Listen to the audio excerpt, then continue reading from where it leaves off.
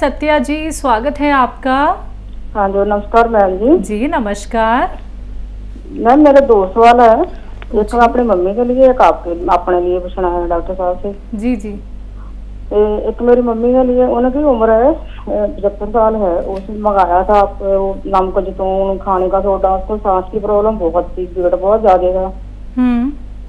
उनको तीन चार महीने हो गए लेते हुए पर वो वीकनेस बहुत महसूस करते हैं उन्होंने वज़न कम नहीं हुआ अभी तक भी ठीक है बहुत वेट बहुत ज़्यादा है हजे भी उन्होंने उनको ना घबराहट बहुत होती है दरवाज़ा भी बंद नहीं कर देते जब अंदर सोना होता है रात के समय अच्छा सांस के रोग में कुछ आराम हुआ डॉक्टर साहब जब चलते हैं सांस तो बहुत ज़्यादा था थोड़ा कम हो गया है पर वेट बहुत ज़्यादा है उसका वेट नहीं कम हो रहा जी। एक एक अपने लिए है जो मेरा बाया मतलब राइट साइड का कंधा है ना हम्म। वो थोड़ा बाजू मेरी पीछे से नहीं मुड़ती है ऐसे ना पूरी ऊपर उठती है। ते एक्सरा करवाया था उसमें आया कि वो जड़ी हड्डी है ना वो जाम हो गई आपके कंधे की। ते उन्होंने मेडिसिन तो दिया था पर डॉक्टर ने बोला कि कंधे में इंजेक्शन लगाना पड़ेगा तो जो मैं लगाना नहीं चाहती। ठीक है। एक एक मेरा थोड़ा बीपी भी हाई होता है थोड़ी कोलेस्ट्रॉल की प्रॉब्लम भी है। दो तीन चक्कर है। ठीक है मैम। अच्छा देखिए एक आता है गौनसिया काला गोंद गौनसिया असली ले लें और आधा आधा ग्राम दिन में एक बार ही ले लें चाहे तो या दो बार भी ले सकते हैं। खाने के बाद पानी से लें तो आपको ये कंधे की तकलीफ़ भी जाती रहनी चाहिए और मुझे लगता है कि आप बगैर इंजेक्शन के भी आपको फ़ायदा हो सकता है। ये कोलेस्ट्रॉल और मोटापा का दुश्मन तो यही है नमक, जैतून और खाने का सोडा। अब हमें तय करना है, हमें कितनी बार लेना है और कितना लेना है। एक एक चुटकी अक्सर फ़ायदा करता है। दो बार लेने में पानी मिलाकर। तो इससे कोलेस्ट्रॉल भी संतुलित होता है और ब्लड प्रेशर भी। तो आप ये नुस्खा लें, दो बार लें और पिताजी को ये नुस्खा तीन बार देना शुरू कर दें। सांस में उनको फ़ायदा शुरू हो गया है। जैसे तो सांस में फ़ायदा होना चाहिए। पहले कोलेस्ट्रॉल निकलेगा ब्लॉक हार्ट ब्लॉकेज कहीं होगा तो वो खुलेगा। अगर वो फ़ायदा शुरू हो गया तो समझ लीजिए आपके बहुत फ़ायदे शुरू हो गए। वज़न अगर कम नहीं होता है तो इसके साथ ये दो तीन चुटकी ज़ीरे का पाउडर बना लें और दो तीन चुटकी वो खा के तब ये लिया करें तो और ज़्यादा ये फ़ायदा कर सकता है। नेक्स्ट कॉलर है हमारे साथ स्वागत है आपका। हेलो हेलो मैम जी आपका नाम क्या है? मैं बिहार से बोल रही हूँ नीतू सिंह। जी नीतू जी बताएँ सवाल करें। मैम मेरी बच्ची की गांठे है आपकी सर का मैं नुस्खा ले रही हूँ। तो मैं पाँच चार महीना से उसे नुस्खा दे रही हूँ सर का। जी। एलोवेरा का और एक चुटकी हल्दी एक चुटकी जैतून का नमक और एक चुटकी खाने वाला सोडा। हम्म। दाग धब्बे के लिए मैं चिरगुंजा का चिरगुंजा का गोंद भी दे रही हूँ एक चुटकी। तो मैं बीच में मैं एप केयर आपके यहाँ से मंगाई थी। तो जानना चाहती हूँ कि एप केयर अब खत्म हो गया है तो मतलब तो मैं जानना चाहती हूँ कि एप केयर मंगा दूँ इसे मंगा के? कि कलौंजी के सिरका दूँ ऐसे एलोवेरा का सिरका मैं दे रही हूँ। F care F F for fish app app care S care S care ma'am या एफ़ केयर एप केयर मैम आपके कंपनी से मतलब वहाँ के डॉक्टर दे भेजे थे। ठीक है। ठीक। और मतलब थोड़ा थोड़ा मतलब बड़ा जैसा ही हो गया है। वही जानना चाहती हूँ कि ऐसा क्यों हुआ। और अब दूध का क्या मैं खीर दे सकती हूँ बच्ची? को क्योंकि सर तो मना करते हैं दूध है और घी। और घी का बना हुआ हलवा उलवा खा सकती है। ये जानना चाहती हूँ। एफ़ केयर है। एस केयर बता रही हैं हकीम साहब। अच्छा देखिए गांठों के लिए या चर्बी को कम करने के लिए एफ़ केयर है। एफ़ फॉर फ़िश तो वो एफ़ केयर है एफ़ फॉर और क्या कहेंगे? फ्लैग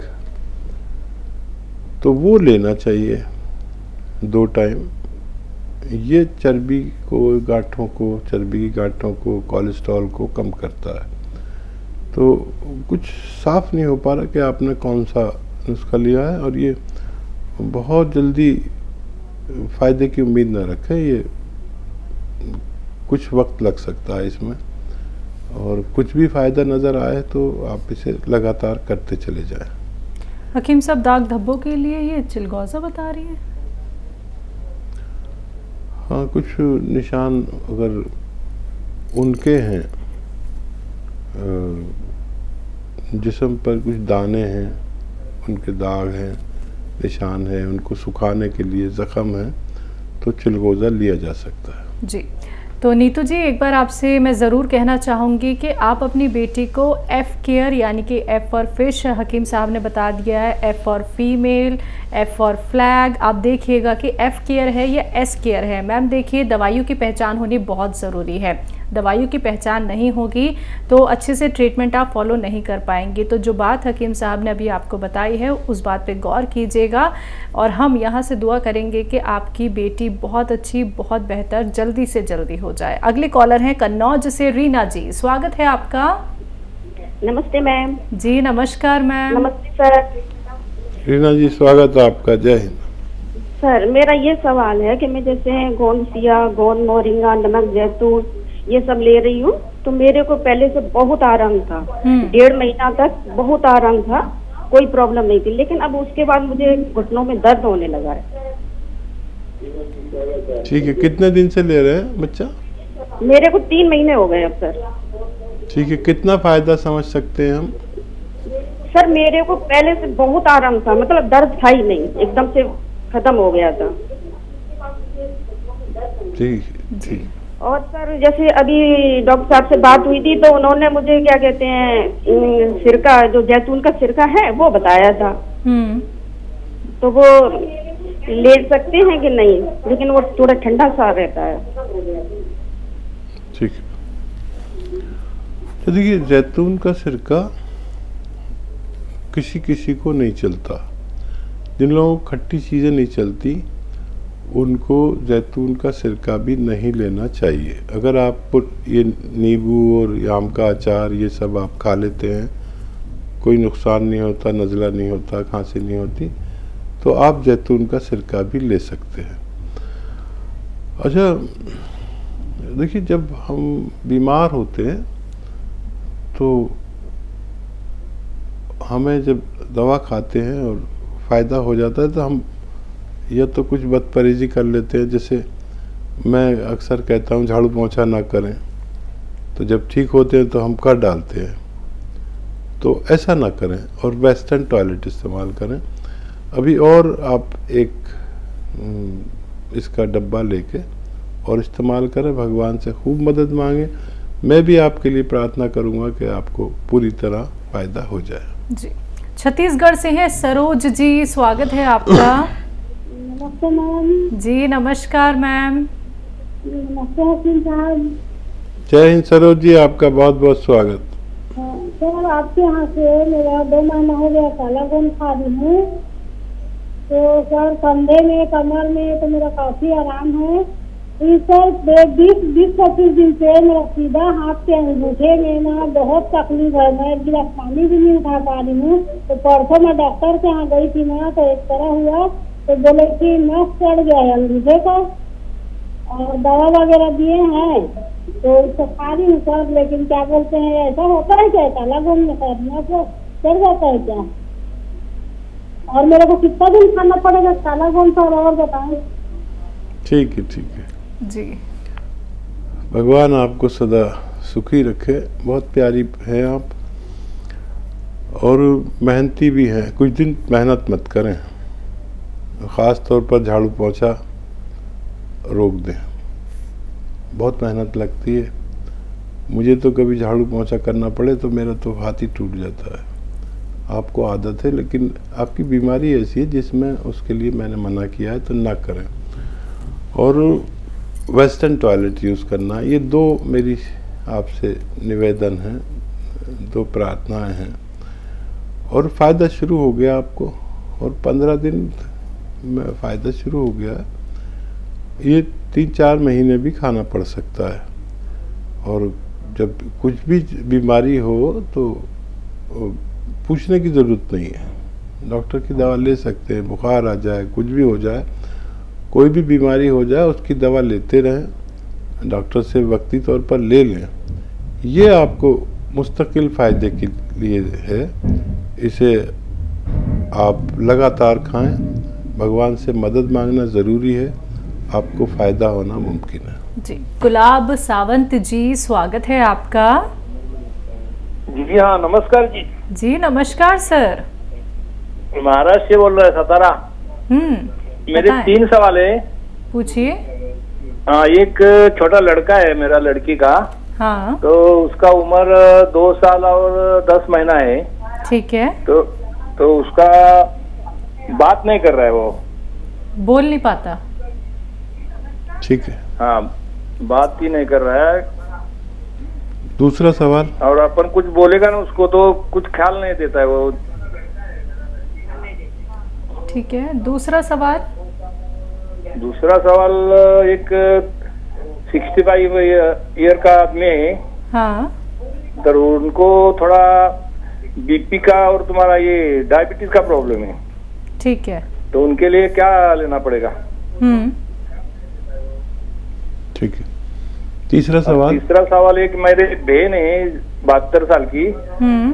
तो उसको चलते टाइम ऐसा हफ़्ता है वो दम दम लगता है उसको। तो देखिए जो बच्चा हम्म, छोटा बच्चा है, उसके लिए अच्छे किस्म का बादाम का तेल। आप तो बॉम्बे में नहीं है, सतारा में रहते हैं, काफ़ी दूर है सतारा। लेकिन बॉम्बे में बादाम का तेल आपकी नज़र के सामने निकाल के देते हैं, पायदुनी पर, बॉम्बे में। पायदुनी एक ऐसी जगह है जहाँ पर दवाओं की, कच्ची दवाओं की मार्केट है पायदुनी और आपके आसपास कोई निकाल के देता हो आपकी नज़र के सामने बादाम का तेल तो वो निकलवा लें।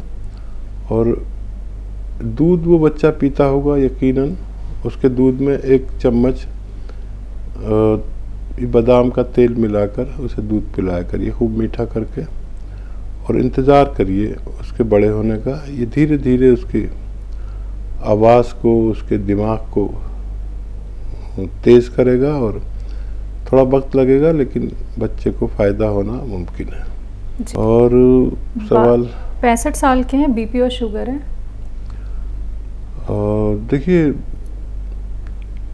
बीपी के लिए एक बहुत अच्छा नुस्खा है। वो ये है कि नमक जैतून एक विशेष किस्म का नमक है जो स्वाद में नमकीन नहीं होता।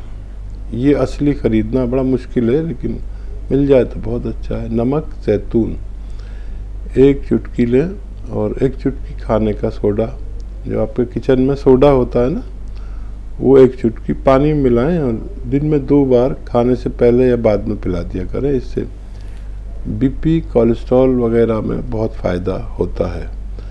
आपकी जो बहत्तर साल की बहन है, उनको भी ये दीजिए और उनका सांस फूलना भी रुक सकता है। इस उम्र में हमें परेशानी हो जाती है कि कोलेस्ट्रॉल बढ़ता है और वो कोलेस्ट्रॉल यानी चर्बी हमारी दिल की रगों में जम जाती है, जिसकी वजह से ऐसा मरीज़ जब पैदल चलता है तो सांस फूलता है, ये उसकी निशानी है।